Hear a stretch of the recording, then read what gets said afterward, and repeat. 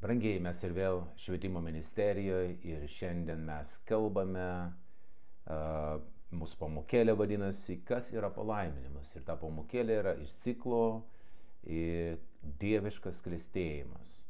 Kągi, brangiai, šitas žodis palaiminimas nuolat lydimus kaip krikščionis.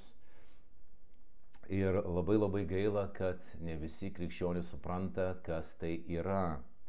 Žinau, kad ir net pasaulyje šitas žodis yra taip pat vartojamas ir jeigu e, koks nors valdininkas nori kažką tai daryti, atlikti, nuvykti, jam reikia dar kito ten viršininko palaiminimo. Sako, jis palaimino, reiškia davė leidimą.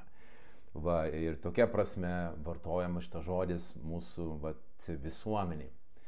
Bet ir bažnyčioje mes visuomet kalbam apie palaiminimą. Ir žinot, aš ir pats, kai aš įtikėjau prieš 35 metus, aš uh, klausdavau vyresniųjų, ko reikia prašyti Dievo, nu, ko prašyti jį. Man sakydavo paprastai, prašyk palaiminimo. Nu tai aš ir visuomet ir sakydavau, Dieve palaimink, Dieve palaimink, Dieve palaimink. Ir uh, stebėjau kitus žmonės, kai matydavau, kad uh, jie yra, reiškia, nu, kažkaip tai emocingai gerai nusiteikę, jie tokie laimingi, sako, jisai dabar palaimintas. A, sakau, tai va matai, aš noriu visuomet būti laimingas, todėl aš prašysiu Dievo visuomet palaimink. Nu ir ta, vad kaip mantra palaimink, palaimink, jinai tęsiasi ilgas laiką, kol viešpats e, tikrai iš savo didelio gėlestingumo nusprendė parodyti man, kas tai yra tas palaiminimas kas čia yra per dalykas. Ir todėl šitą pamokėlę būtent apie tai. Tai kągi, pradėkime nuo pirmos, reiškia, nuo pirmos rašto ištraukos, tai bus iš Galatams laiško. Ir čia skaitau nuo trečiam skyriuje 13 ir 14 eilutes. Kristus mus atpirko iš įstatymo prakeikimo tapdamas už mus prakeikimu, nes parašyta, prakeiktas kiekvienas, kuris kybo ant medžių. Kad Abraomo palaiminimas Jėzuje Kristuje atitektų pagonims ir mes tikėjimu gautume pažadėtąją dvasę. Taigi mes matome, čia Paulius sako, kas įvyko ant kryžiaus. Žinot, sako, Paulius sako, kad žodis apie kryžių mums išgelbėtėsiams yra Dievo jėga. Žodis apie kryžių. Tai ne tai, kad kryžius, kryžius, kryžius, tai yra mokymas apie kryžių. Mums išgelbėtėsiams yra Dievo jėga. Suprasti, kas įvyko ant kryžiaus, tai yra sukonstruoti teisingą tikėjimą ir teisingą lūkestį. Atmesti tai, kas tau nepriklauso ir priimti tai, kas tau dovanota. Taigi mes matome, šitos dvi eilutės, jas galima padaryti dvi dalis. Išvadavimas nuo kažko, čia mes matome, mes esam atpirkti iš įstatymo prakeikimo. Kristus ant kryžiaus atpirko mus iš įstatymo prakeikimo. Aiškiai, įstatymė aprašyti prakeikimai daugiau mums negalioja. To kiek nori tu gali gazdinti mane, kalbėti, skaityti, malachijo, kitus prakeikimus, jie man negalioja. Ir jokie kiti prakeikimai man Dievo vaikeliui negalioja. Kristus sumokėjo kainą ir, ir, ir padarė ir užvėrė duris bet, kokiam, bet kokiai greunančiai jėgai mano gyvenime ir tame tarpe ir prakeikimui. To aš negaliu būti prakeiktas, jeigu aš pasikliaunu Kristumi Jėzumi. Jeigu aš įsikibęs jo aukos, aš visą širdim tikiu, ką jis padarė dėl manęs, jokie prakeikimai negali veikti mano gyvenime. Ir taškas. Tai va, čia yra puikiai, puikiai dalis, bet aš šiandien kalbu apie kitą dalyką. Apie tai, e, ką mes gavome Taigi nuo kažko mes esam išvaduoti, bet kažkas mums atiteko. Mes esam išvaduoti, kad Abraomo palaiminimas Jėzuje Kristuje atitektų pagonims. Taigi mes matome šitą terminą. Abromo palaiminimas atitektų pagonims. Reiškia, mes buvom išlaisvinti, išvaduoti su tikslu, kad kažkas tai mums atitektų. Ir aš įsitikinęs, kad išsipildė abi dalis. Aš esu išvaduotas ir man kažkas tai atiteko. O tas kažkas ir vadinasi Abromo palaiminimas. Ar tau neįdomu sužinoti, ką Dievas tau dovanojo? Ar tau neįdomu gilintis, pasižiūrėti, ką Jis tau davė? Aš manau, kad tau turėtų būti labai įdomu, bet dėja, dėja, bažnyčia, e, paimkime ten viduramžius ar kažkas, tai iš vis šitos temos nelėtė. Kažkoks tai Abromo palaiminimas, kas tai yra, iš viso, jie buvo kažkame, ką mes net nepavadinsime Evangelija. Ten kažkokia moralė, būk geras, daryk gerus darbus, kentiek. Kažką tokio, kas, nu, nu, nėra esmė Evangelijos. Evangelijos esmė yra geroji naujiena, kai Dievas pasakė Abromui, tavyje aš palaiminsiu visas tautas. Tai yra Evangelijos žinia. Tavyje, Abromai, tai yra tavo sėkloj, aš palaiminsiu visas tautas. Ir čia išsipildė šitas pažadas. Kristuje Jėzuje, palikuonyje Kristuje išsipildė šitas Dievo pažadas. Nes Kristuje nėra jokio prakeikimo, jame yra visas Dievo dovanotas palaiminimas, kurį jis pažadėjo Abromui. Todėl tai vadinasi Abromo palaiminimas. Taigi, brangiai, mes e, žiūrėkime giliau, žvelgime giliau į šitą temą nes tai visiškai atitinka mūsų šitą pamokų ciklą, kuris vadinasi, visą šitą seriją, kuris vadinasi Dieviškas klėstėjimas. Dieviškas klėstėjimas. Taigi mes matome, kad šita tema buvo apleista ir iki šiol jinai ne iki galo yra eskaluojama, ne iki galo į ją gilimasi. Daug stereotipų yra, kai mes kalbam apie palaiminimą į, apie patį palaiminimą, kas tai yra, va čia ir pakalbėsim, apie pačias sąlygas, kaip jį gauti. Žmonės, dar 90 procentų bažnyčios, jie vis dar stengiasi gauti palaiminimą. Ateina pamokslininkai ir žymus ir jie kalba ir kalba ir kalba, sako, daryk tą, daryk tą, tada Dievas tave palaimins. Tada Dievas palaimins susimokėk tam tikrą sumą pinigų, 10 procentų, dešimtinę, tada Dievas tave palaimins. Padaryk kažkokią sąlygą, įvykdyk kažkokią sąlygą ir tada Dievas tave palaimins.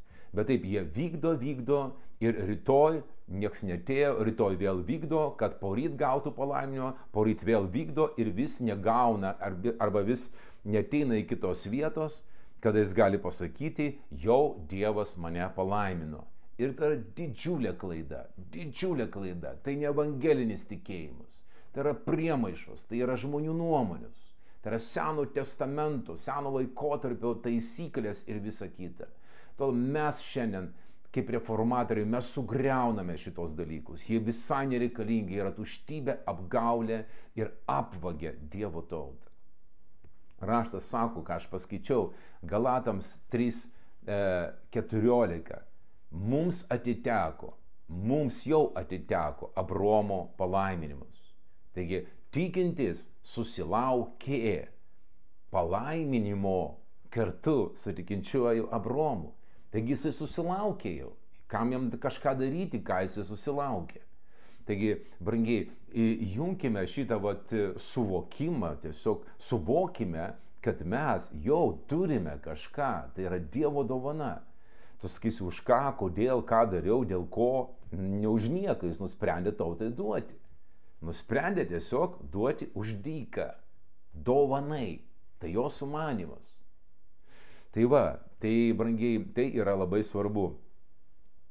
Gerai, dabar eikime į, e, toliau į pamoką ir aš noriu paskaityti, e, tiesiog nepaskaityti, bet pateikti tam tikrų žodžių reikšmes.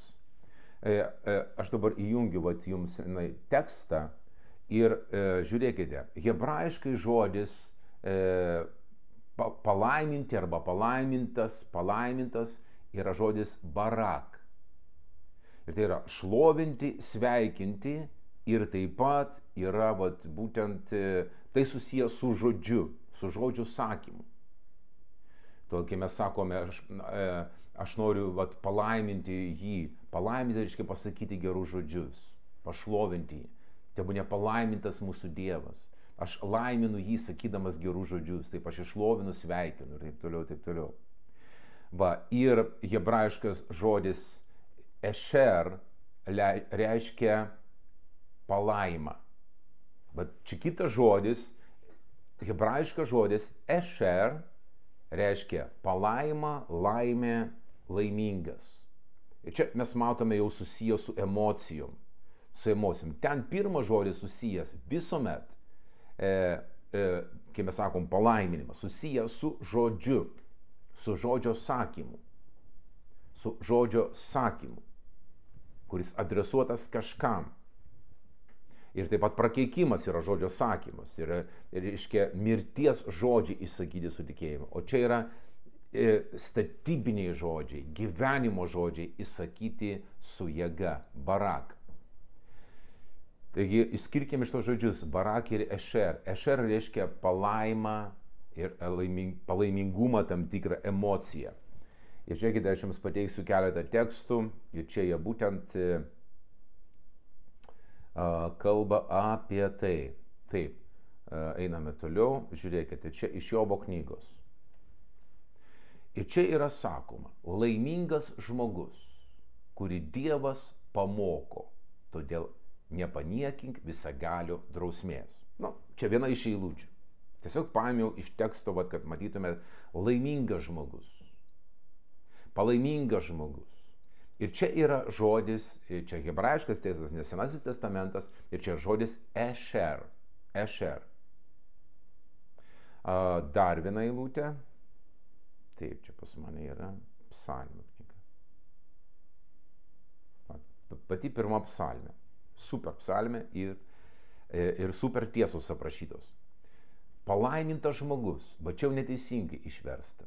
Nes čia yra žodis ešer, reiškia palaimingas, laimingas žmogus, kuris nesielgia kaip patarė bedieviai, nestoja į nusidėlių kelią, nesėdi su apjokiais, bet mėgsta viešparės įstatymą ir masto apie jo įstatymą dieną ir naktį. Jis bus kaip medis, prie upelio pasodintas, kuris metui atėjus duoda derlių ir jo lapai nevysta ką jis bedarytų, jam sekasi. Mes matome, žmogus, kuris studijuoja raštą, kuris masto apie tai dieną ir naktį, jis yra laimingas. Jis yra laimingas. Kodėl? Todėl, kad šitos studijos, šitos knygos, šitos knygos atneša tau sėkmę. Atneša tau sėkmę, klėstėjimą vidinį, Čia palyginam kaip lapai, kurie nevysta, kurie neša derlių. Vidinis klėstėjimas, vidinis pozityvas, vidinė sveikata. Vidinė sveikata, kuri persido ir tavo taip pat kūną. Taigi teigiamos emocijos paveikia visą tavo gyvenimą. Todėl šita knyga yra apie gyvenimą, apie teigiamus dalykus. Gaila gaila, kad Biblija yra juodais viršeliais. Aš to nesugalvojau bet kol kas mes turime tokią juodais viršeliais, tai kaip kažkokia gedulo knyga, kaip kažkokia, mama, tenai, nu, kažkas tai baisaus, su mirtim susijęta. Ir kaip baisu iš tiesų, kad krikščionybė, krikščionybė susijęta su mirtim, kryžius, mirtis, kentėjimas ir taip toliau. Jėzus sako, aš atėjau, kad jie turėtų gyvenimą kad jie turėtų gyvenimą, pasaulis skendė į mirtį, Jėzus atėjo, atidavė savo gyvybę, savo sielą atidavė nužudimui, kad pasaulis tikėdamas tai, ką jis padarė, gautų, priimtų gyvenimą, gyvenimą. Taigi šita knyga apie gyvenimą. Jėzus sako, mano žodžiai yra dvasia ir gyvenimas. Taigi iš Dievo sklinda gyvenimas. Dievas teikia gyvenimą ir sėkmę teikia gyvenimą ir sėkmę. Todėl šita knyga yra stebuklinga. Ja skaitydamas, be religinių akinių be abejo, nežinau, kas sakymas, be religinių akinių, o, e, be šitų akinių, tiesiog skaitydamas kaip yra, tu atrasi čia, kad Dievas, jisai paveikia žmonės. ir jisai paveikia savo dovanom. Jis dovanoja gerus dalykus ir Dievas trokšta e, žmonių pasisekimo. Ir žmonės turi išsikapanoti iš nuodėmių. Jie turi gauti šiandien nuodėmio atleidimą per tikėjimą Jėzumi Kristumi. Tik tuomet jie bus, vat, e, reiškia, pasiekę tas sąlygas, įvykdę tas sąlygas, dėl kurių Dievas ateina su savo dovanomis. O Kristuje Jėzuje ir yra tos sąlygos. Visiškas išteisinimas, visiškas sutaikinimas su Dievu. Todėl Dievas e, dovanoja bet šituos dalykus Kristuje Jėzuje. Taigi mes matome pirmą psalmę, mes skaitome, kad jisai palaimingas žmogus, jisai studijuoja žodį, pasilieka Dievo žodėje, dieną ir naktį jis kalba apie tai, meditacijų pasilieka to ir jisai elgesi teisingai, jis visuomet mato Dievą. Dievas yra jo dešiniai. Dievas yra jo dešiniai. Žinot, kažkada, kai aš dar buvau versle ir kuris laikas ten visiškai vadovavau ir e, pas mus į, į mūsų įmonę atvyko e, studentų kažkokių grupė iš Italijos Na, kažkas tai paprašė, sako, jūs dirba technologijų srityse su internetu, su kompiuteriais. Taip, sakau, dirbame. Ir e, nu, mes norime atsiųsti tokią vat, grupę iš Italijos, kuris papasakotų apie savo verslą. Nu ir atėjo ten be kokį 20 italų studentų pas mus į biurą užgriuvom. Ir pas mane ant stalo guli šventas raštas visuomet Biblija. Ir aš sakau, mėly studentai, aš noriu pradėti nuo to, kad e, mūsų gyvenimas nėra susijęs vien tik iš žinių. Vien tik iš žinių, va, aš sužinosiu, kažką žinosiu ir taip toliau, taip toliau. E, gali baigti daug institutų, gali baigti daug mokslų, praeiti seminarų, bet tau vieni, vieno dalyko reikia ir pačio pagrindinio - sėkmės. O šita knyga yra apie sėkmę, bet ant mano stalo guli knyga apie sėkmę. Studijuok ją ir tu pamatysi, kad sėkmė, kuri yra aprašyta šitoj knygoj, taps realybė tavo gyvenime. Italiukščiai buvo tikrai, italai buvo tikrai nustebę ir jie, wow, wow, wow, gavo tikrai prieškimą. Aš tikiu, kad Dievas juos palėtė ir vieną kitą tikrai atves prie šitos stebuklingos knygos. Ir jie taps pirmos psalmės žmogumi. Pirmos psalmės žmogumi, kuri sako apie sėkmę. Apie sėkmę, sako apie sėkmę. Ir prasideda šitą psalmę, arba apskritai psalmių knyga, laimingas žmogus, palaimingas žmogus. Taigi čia žodis yra ešer. Va, gerai, einame dar į tekstą vieną ir uh, aš noriu jums parodyti dabar, kur yra ir, kur dabar yra žodis barak, barak žodis. Ir čia jau mes matome būtent Dievo pokalbį su Abromu. Nors ir anksčiau Dievas kalbėdavo, e, anksčiau mes, e, kitose tekstuose, dar anksčiau mes matome šitą žodį barak ir čia pirmosios skyriuose e, Biblijos, kur Dievas palaimino žmogų. Bet ten yra būtent barak, jisai palaimino žmogų.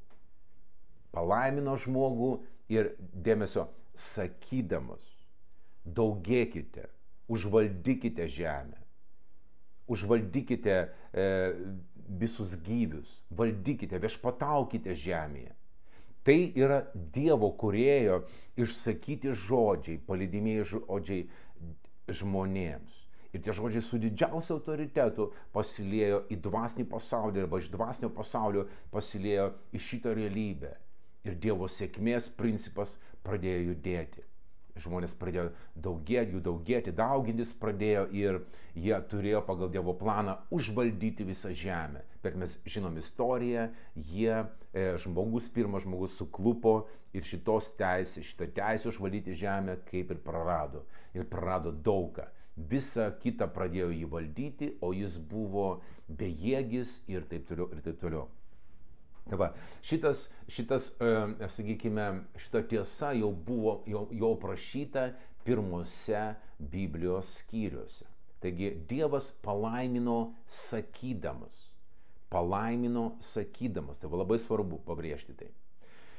Ir tada mes jau skaitom apie Abromą, beje, ir mes esam palaiminti kartu su tikinčiuoju Abromu. Taigi čia iš pradžios knygos skaitau štai tokį tekstą. 12 skyrius nuo pirmos iki trečios eilutės. Viešpats tarė Abromui, palik savo šalį, giminės, tėvų namus ir eik į kraštą, kurį tau parodysiu. Labai įdomu, kad Dievas sako, išeik iš savo giminių, iš savo, e, iš savo krašto, iš savo tėvynės, išeik iš savo šalies. Įdomu, kodėl Dievas duoda tokį nurodymą. Aš manau dėl to, kad e, kai tu esi kažkokiam kultūriniam, nu, vad sakykime, fone, tu esi apsuptas įvairiausių, reiškia, nuomonių, supratimų, tradicijų, tikėjimų. Ir tau eiti su Dievu yra be galo sunku, jeigu tu klausai nuomonės, ką pasakys tavo artimieji, tavo sutoktinis, e, kaimynai, tavo tauta, kas sako vienu ir kitu klausimu, ar neprieštaraušia mūsų kultūrai ir tradicijai. Tau be galo sunku eiti paskui Dievą. Tau be galo sunku įeiti į Dievo planus. O Dievas sako, išeik. Ir sako, eik į kraštą, kurį tau parodysiu. Reiškia, jis nežinojo, kur eina. Reiškia, ta paždo žemė, ką mes vadinam Kanano žemė, jau pačio Dievo numatyta. Ne Abromas sugalvojo, sako, Dieve, duok man šitą žemę. Ne, Dievas sako, aš tau duosiu šitą žemę. Aš tau numačiau tą žemę. Taigi čia Dievo iniciatyva buvo pažado žemė. Ir sako toliau, aš padarysiu tave didelę tautą, tave laiminsiu. Ir va čia žodis yra barak, tave laiminsiu. Iš tiesų, hebrajiškam tekste nėra būsimojo laiko, tai yra tik tai būtasis ir esamasis. Būtasis, sako, aš tave palaiminau, aš tave palaiminau. Va taip reikia čia skaityti hebrajišką tekstą tave palaiminau ir padariau tavo vardo garsų. Padarysiu tavo vardą garsų. Žiūrėkit, dabar tas e, e padaryti e, Abromo vardą garsų. Aš uždaviau savo klausimą, kaip Dievas padarė Abromo vardą garsų. Atsakau, per Jėzų. Tik pagalvokit, jeigu šiandien nebūtų Jėzaus, jeigu šiandien nebūtų krikščionybės, Ar kas nors žinotų apie kažkokį Abromą, apie kažkokį žydą Kanano ten šaly? Ar kažkas žinotų apie žydų tautą? Ar kažkas žinotų ir, ir duotų vardus žydiškus, kaip, kaip Marija, kaip Saulis, kaip e, Simonas, ten Jonas, Tomas, Paulius, ne, Paulius, e, e, na, žodžiu, kas duotų tokius vardus? Apskritai šita tauta būtų visiškai nežinoma o jinai tapo žinoma tik dėl Jėzaus. Ir išsipildė šitas pažadas. Padarysiu tavo vardą garsų ir tu būsi palaiminimu. Ir dabar palaiminimas yra braka. Laiminti, palaimintas žmogus yra barak, o pats palaiminimas yra braka. Aš palieku šitą tekstą, kad jūs arba nusifotkinkit, arba užsirašykit šitos žodžius. Nu, tiesiog mes studentai, mes mokomės. Aš laiminsiu tuos, kurie tave laimina ir prakeiksiu tuos, kurie tave keikia. Tavyje bus palaimintos visos žemės giminės. Tavyje, tai yra tavo sėkloje, tavo palikuonėje, kas yra Kristus, bus palaimintos visos žemės giminės. Wow, wow, wow. Kągi brangiai. Taigi mes matome, kad, kad Dievas išsako Abromui šitą palaiminį, šitą pažadą, jis duoda šitą palaiminimo pažadą. Ir ant šito pažado praktiškai visas veiksmas pradeda va čia rutuliuotis. Visas veiksmas rutuliuosi aplink tą pažadą. Abromas tada sako, Dieve, kaip tu patvirtinsi, kokį nors patvirtinimą, sako, taip, taip skamba puikiai, bet nu, va, patvirtinimo aš norėčiau iš tavęs į sutvirtinimo sakramentą, kad tu patvirtintum tai. Ir tada Dievas sudaro su Abromu, reiškia, sandūrą arba sutartį. Šitą vat palikimą, va, tą, e, to pažado, va, to palikimo patvirtina tokią sandorinę sutartim. Ir tada jis atlieka visą tą procedūrą sandoros ir po to sako, kad tu žinotum, kad tu dabar esi ypatingas mano akise, kad turi ypatingas santykis su manim. Tau reikia apsipjaustyti ir te būna apipjaustyta visa tavo šeima. Ir kiekvienas vaikelis, kuris gimsta į va šitą visą šeimą, abromišką šeimą, jis turi aštuntą dieną būti apipjaustytas. Tai yra sandora jūsų kūne. Tai yra sandoros ženklas jūsų kūne. Taigi, sandora nėra viskas, viskas yra pažadas. Ir po to mes matome, raštas sako, kad Dievas šitą pažadą, kurį davė Bromą apie palaiminimą, dar patvirtino, e, reiškia, įstatymų. Įstatymas atėjo. Tai yra tam tikros sąlygos, daryk tą, daryk tą, daryk tą, daryk tą, kad tau atitektų Abromo palaiminimas. O jeigu nedarysi to ir to, tau netiteks Abromo palaiminimas, tau atiteks toj pačioj sutartį aprašyti prakeikimai. Tai va, ir mes skaitome, kad Kristus mus atpirko iš įstatymę aprašytų prakeikimų, kad mums įtikėjusiems iš pagonių atitektų Abraomo palaiminimus.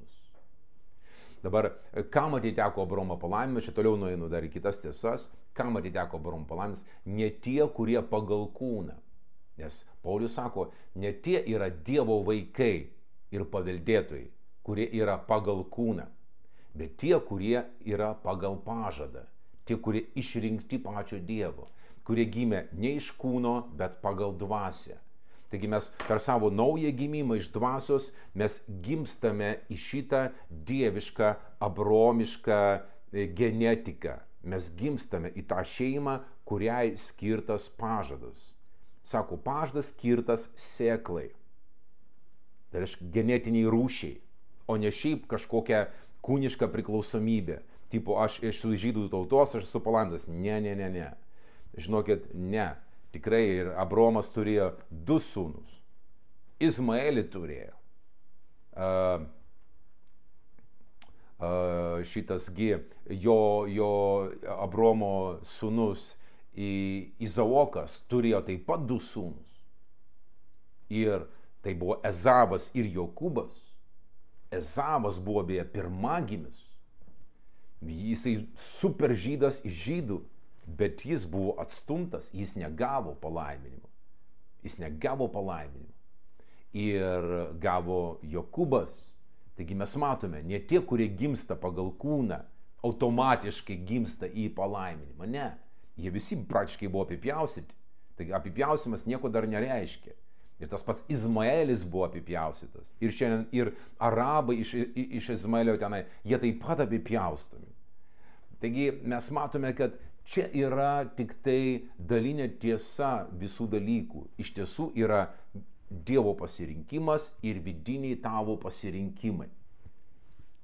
Tai va, tai mes matome, kad mes per naują gimimą, per tikėjimą Kristumi, per tikėjimą Kristumi, žiūrėkit, ką sako Galatams laiškas, beje, e, trečias skyrius, kurį mes skaitėm, pati pabaiga.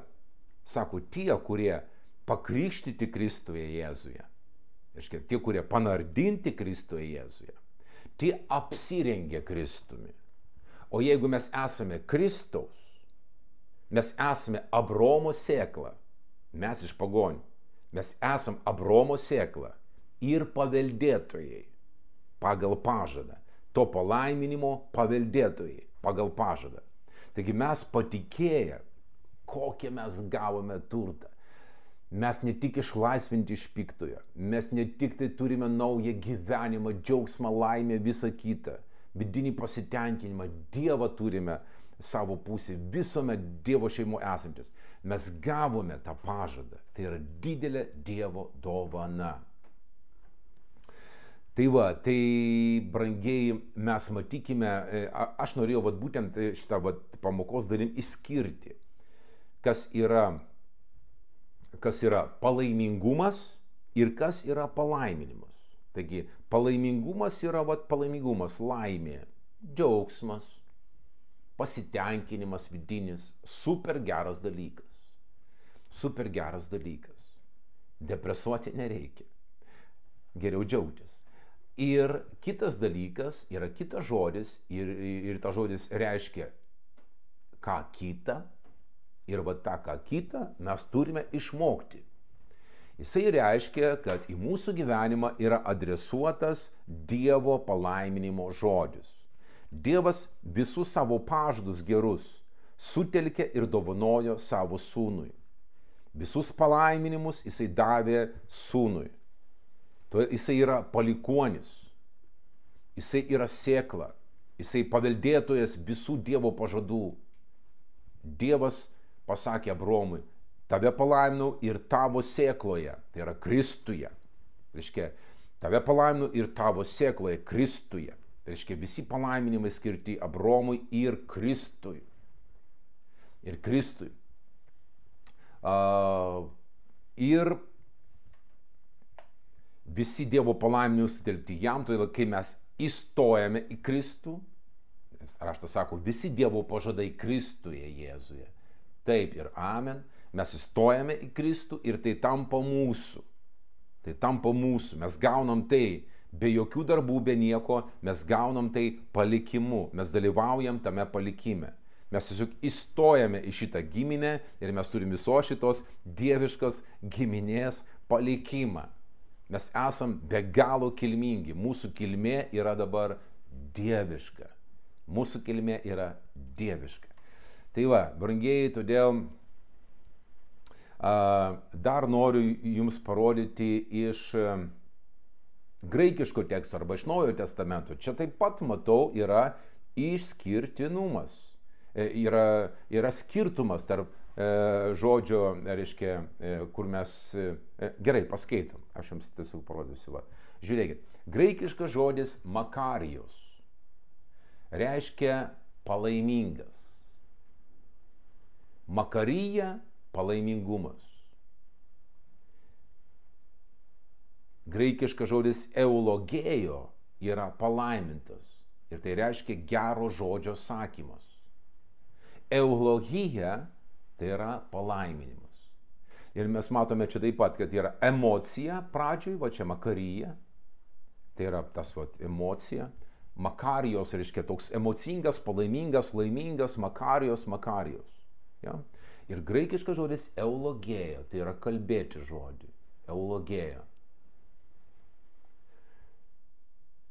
Va, tai ką?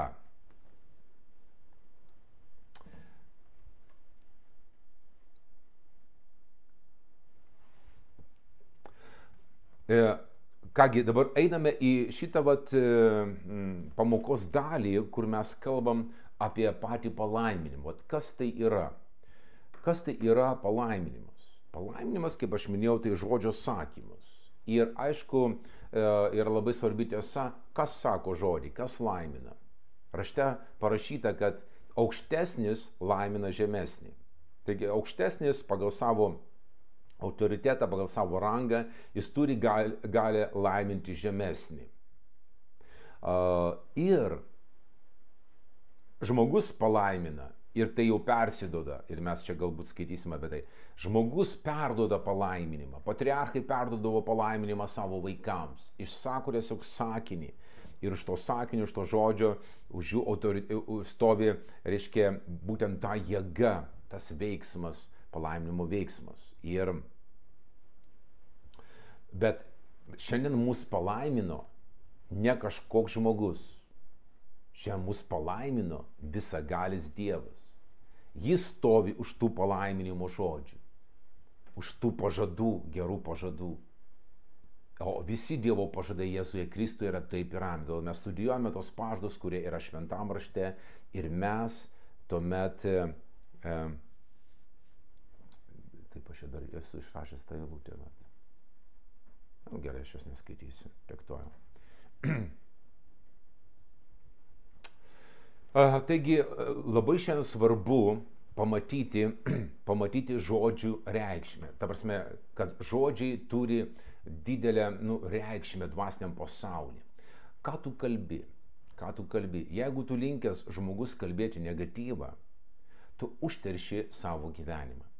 Užterši savo gyvenimą tuo negatyvu. Žmonės ypač tie, kurie mėgsta keiktis, mat keikūnai tokie keikiasi, matom keikiasi. Žinot, jie atpalaiduoja daug blogų dalykų. Jie net nesupranta, kodėl man čia vat nesisika arba kažkokios čia velniškos jėgos. Nekeik, nesikeik. Tegu iš tavo lūpų neišeina joks negatyvas. Ir, žinot,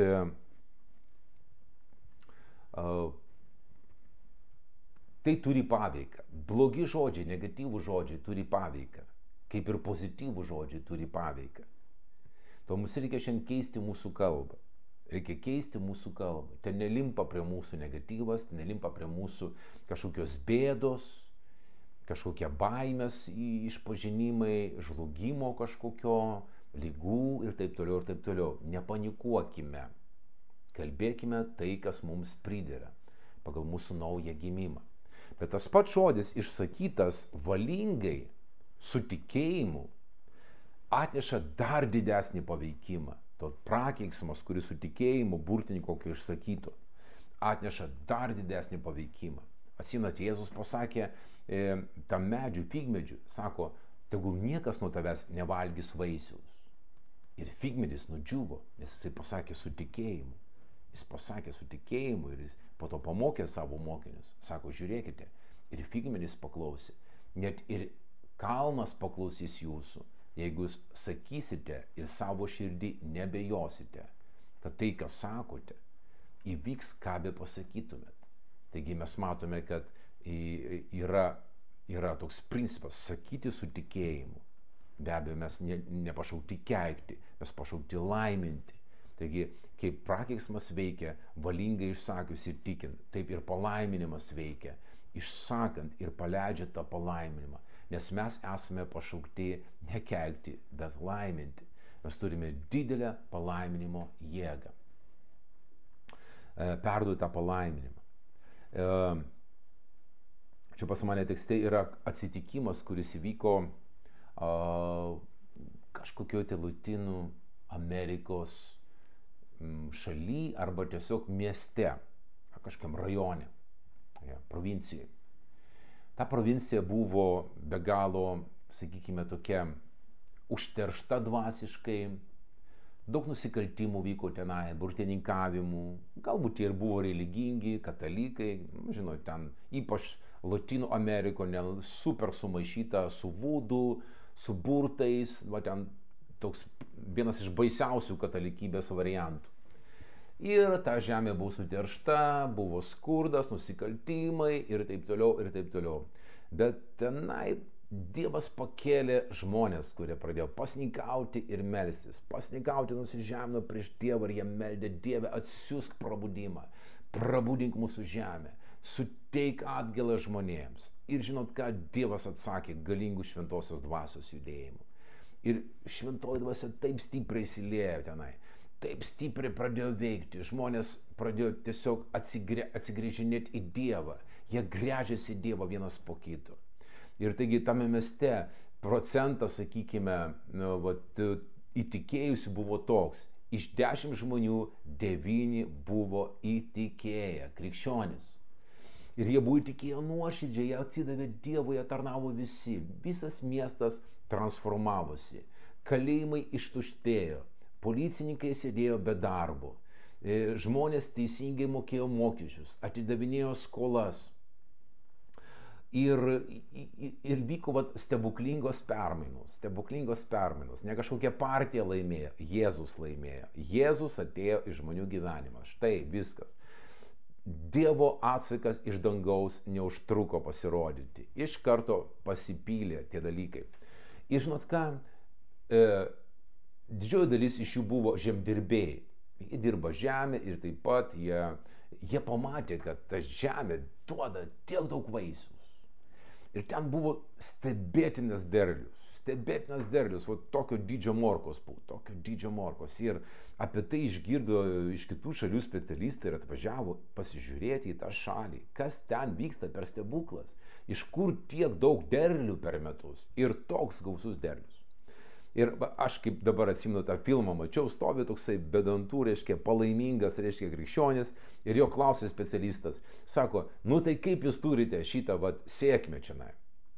Tai sako, mes ateiname į laukus ir mes laiminame. Mes sakome laukams, derlius būtų, gausus derlius ateina, viešpatės palaiminimą mes išsakome Jėzaus vardu ir ten viskas pradeda aukti. Štai viskas, štai yra atsakymas. Va, tai ką mes matome, kad iš tiesų išsakyti žodžiai turi didelę, didelę svarbą.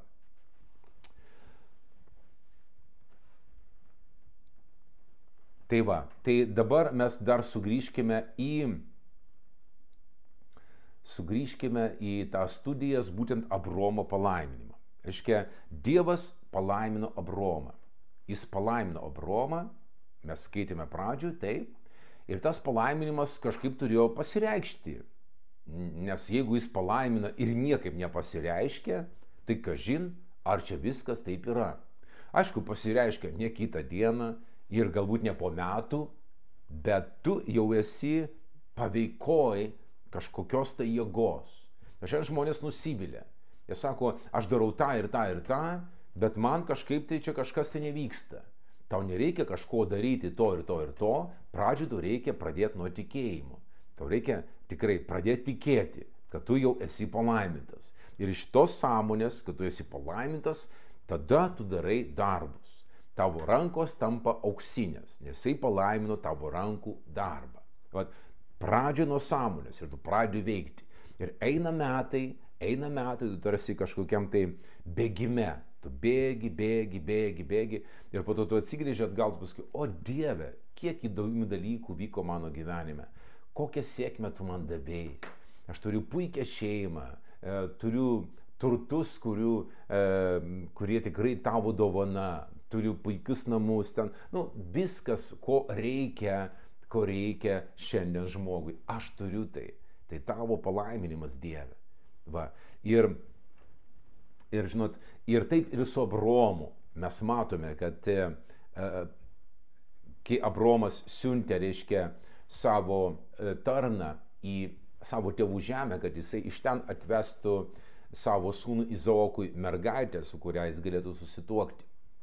Ir tas tarnas atėjo į tą žemę tenai, į, jo protėvių žemę, jisai pristatė Abromą ir sako, va, mano Abromas turi sūnų ir jisai, jisai laukia tas sūnus mergaitės iš šitų kraštų.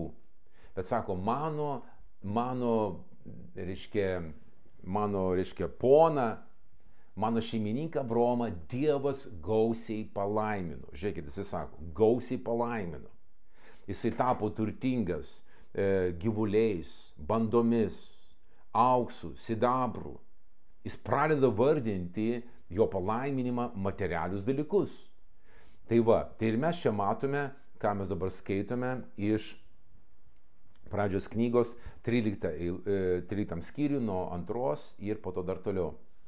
Taigi Abromas buvo labai turtingas. Čia nepasako su tokia nu, panieka, ah, Abromas buvo labai turtingas. Čia nesako, nei kiek nėra, nėra, nėra čia rašte nei kiek apie šitos turtuolius jokių negatyvių apibūdinimų. Jokių negatyvių apibūdinimų. Jeigu šiandien pasakytume, kad vat, e, vat tas žmogus, jam pasisekė Dieve, jis tapo turtingas, šiandien skamba keistokai. Tai ką turtingas, ar mes turime to siekti, ar kažkaip tai. Mums nereikia to siekti, tai ateina į mūsų gyvenimą. Jeigu tu susiderinė savo širdimi, savo mintise, savo sąmonė su Dievu, tai ateina į tavo gyvenimą.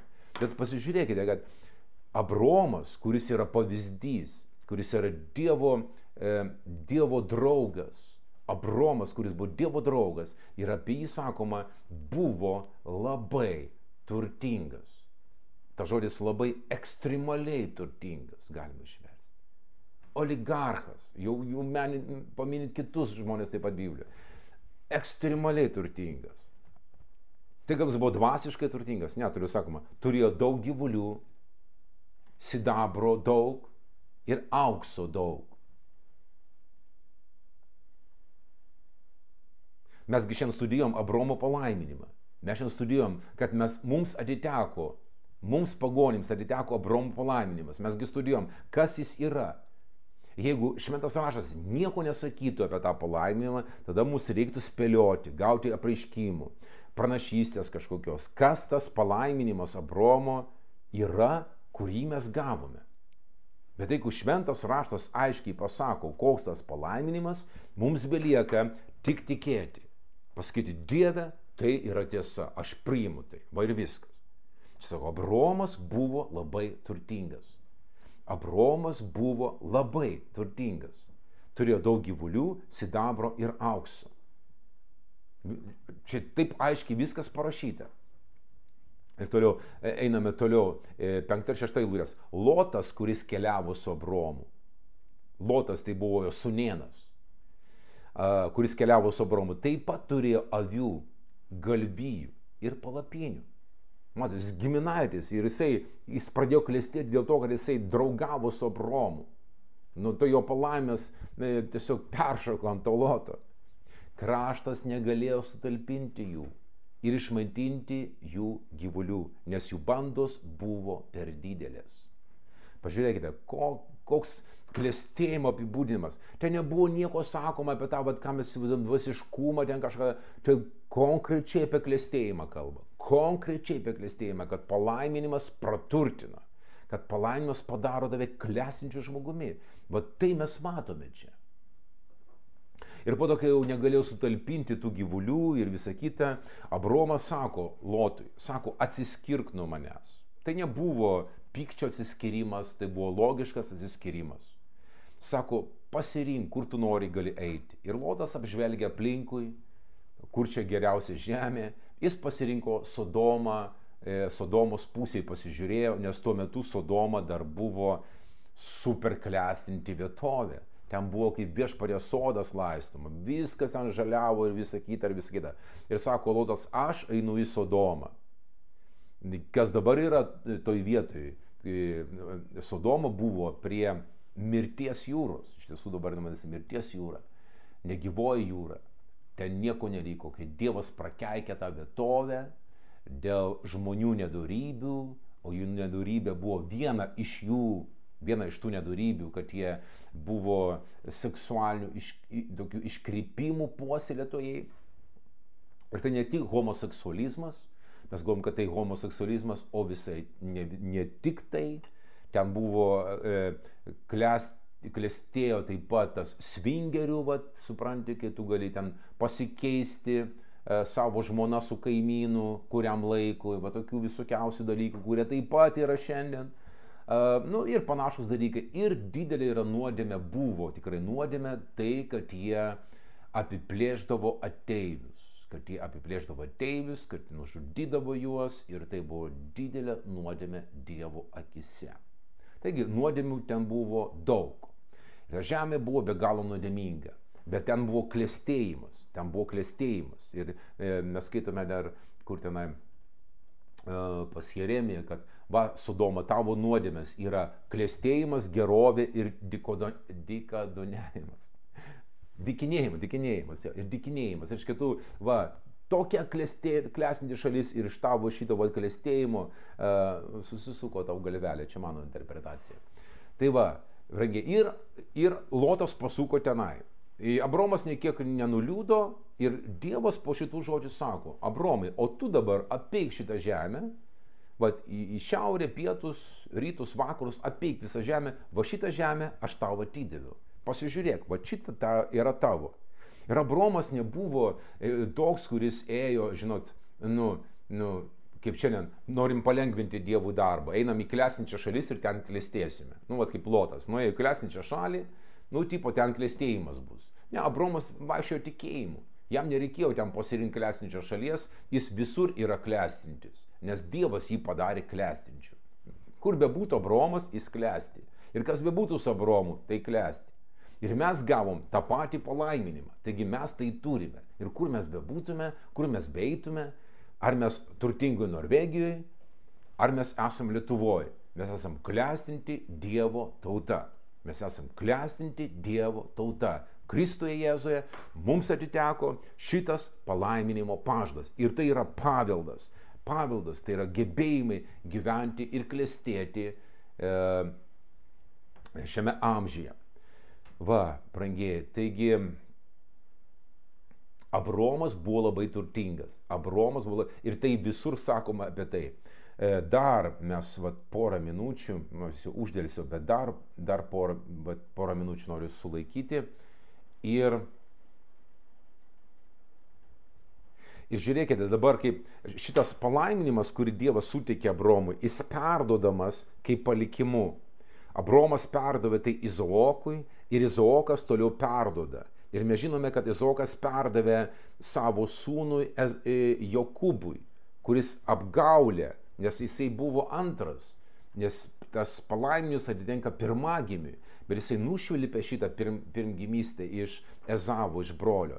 Ir klasta atėjo e, pas, reiškia, pas tėtį, kuris neprimatė, apsimetė, kad jis yra Ezavas ir jam tėtis perdoda, va čia iškilminga ceremonija, tėtis jam perdoda šitą palaiminimą. Beje, raštai sako, kiti raštai, šventas raštas, kad tuo metu e, Jokūbui buvo apie 60 metų, neturėjo nei šeimos, nieko, jisai gyveno su mamytė, mamytės palapinė, mamytės sunelis buvo ir mamytė viską suorganizavo šitą dalyką. Nes mamytė ir visa šeima žinojo svarbą palaiminimo ir pirmgimystės. Išskir, išskyrus Ezavą, kuris pardavė savo pirmgimystę už sriubos, reiškia dubenį Jis pardavė už sriubos porciją. Jis neįvertino šitų dalykų, kaip ir šiandien krikščionis. Jie neįvertino, kas tas palaiminas, čia, ką čia dabar ta bažnyčia, kažkokia religija, kažką čia man daryti. Tu neįvertini šito dalyko, tu nesupranti, tu neturi supratimo vertės Dievo palaiminimo ir dieviško klėstėjimo ir dieviškos sėkmės. Nes pasaulietinis klėstėjimas, pasaulietinis klėstėjimas turi savo galą. Išdidėjai jie grius korporacijos griūna, bankai griūna, bet Dievo palaiminimas išlieka per amžius. Tai pačiai psalmėje parašyta, kai matai klesinti žmogų, pasaulietį, nedorėlį, nepavydėk jiems, nepavydėk, nes jie bus nupjauti kaip, kaip žolė, jie bus nupjauti kaip žolė. Sako, pasitikėk viešpačiu, daryk gerą ir tu paveldėsi žemę, tu paveldėsi kraštą. Taigi, žiūrėkite, mes skaitome dabar. Uh, skaitome tą palaiminimą. Taip, Jokūbas priejo, pabučiavo, o tėvas užuodęs Ezavo drabužių kvapą, nes jis buvo persirengęs.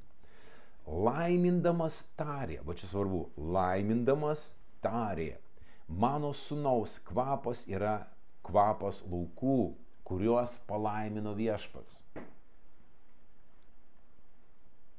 Mano sūnaus kvapas, kai kvapas laukų, kurios palaimino viešpas. Reiškia, yra laukai, kurie nepalaiminti viešpas ir yra kur viešpatės palaiminti.